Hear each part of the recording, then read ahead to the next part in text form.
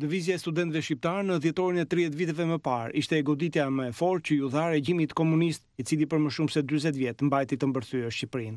Ajo shënoi dhe pikën e kthesës drejt rrëzimit të diktaturës.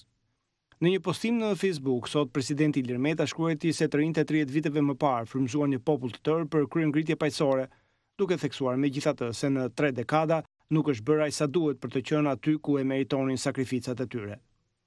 Me një referencë të qartë kritike ndaj shumicës që drejton vendin, Presidenti Meta shkruan se është koha për një fillim të ri për të rivendosur demokracinë dhe llogaridhënien.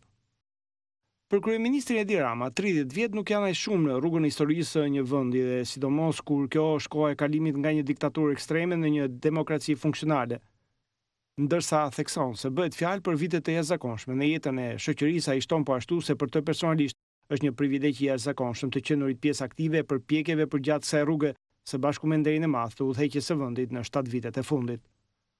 Por ndryshe nga kryeministri, për kryetarin e opozitës Lulzim Basha vitet e qeverisjes socialiste kanë shënuar një kthim pas për vendin.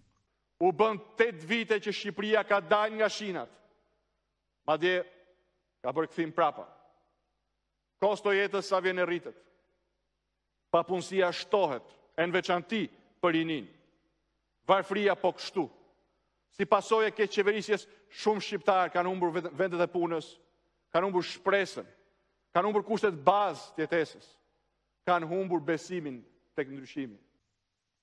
Në një bashkëbisedim virtual me të rinjtë demokratë, zoti Basha shprehu besimin se rinia shqiptare do të marrë në dorë fatet e vendit dhe do të kthejë shpresën dhe besimin për çdo shqiptar e do të bëjë realitet ëndrrën e tridhjetë viteve më parë, Shqipërinë si gjithë Europa. Më herët kryetari demokrat bëri homazhe pranë memorialit të Azem Hajdarit, i cili dhjetorin e vitit nëntëdhjetë u vu në krye të Lëvizjes Studentore.